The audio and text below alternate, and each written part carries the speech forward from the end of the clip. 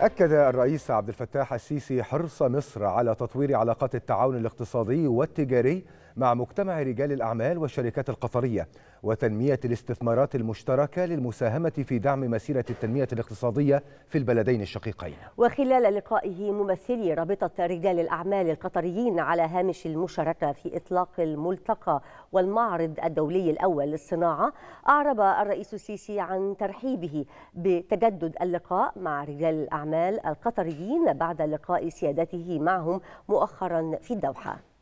التقى السيد الرئيس عبد الفتاح السيسي مع ممثلي رابطة رجال الأعمال القطريين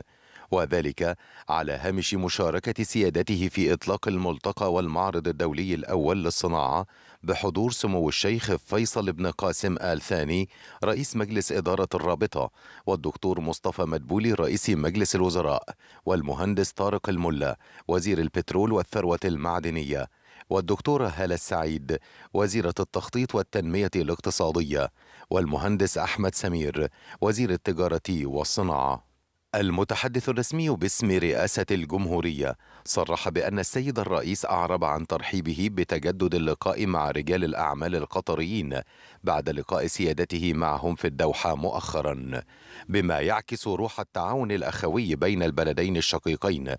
مؤكدا سيادته حرص مصر على تطوير علاقات التعاون الاقتصادي والتجاري مع مجتمع رجال الأعمال والشركات القطرية وتنمية الاستثمارات المشتركة للمساهمة في دعم مسيرة التنمية الاقتصادية في البلدين الشقيقين وذلك في إطار من العمل المشترك لتعظيم المصالح المتبادلة والاستغلال الأمثل للفرص المتاحة. كما أشاد السيد الرئيس بالتطورات الإيجابية التي شهدتها العلاقات الاقتصادية والتجارية بين البلدين الشقيقين خلال الفترة الماضية موضحا سيادته في هذا الصدد ما توفره المشروعات العملاقة الجاري تنفيذها في مصر من فرص استثمارية متنوعة وفي مقدمتها محور تنمية منطقة قناة السويس والذي يتضمن عددا من المناطق الصناعية واللوجستية الكبرى وهو ما يوفر فرصا واعدة للشركات الشركات القطرية الراغبة في الاستفادة من موقع مصر الاستراتيجي وما يربطها من اتفاقيات تجارة حرة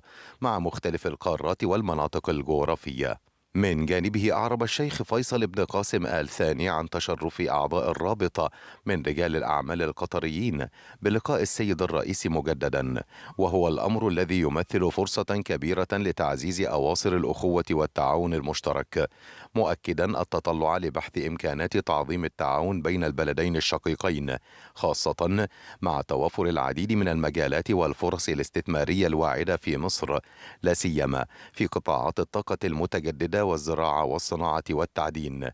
وقد أكد السادة الرؤساء وممثل الشركات القطرية عن ترحيبهم بتكثيف التعاون مع مصر لتحقيق المصالح المشتركة للجانبين مع استعراض خططهم للاستثمار في مصر أو للتوسع في مشروعاتهم القائمة في العديد من المجالات.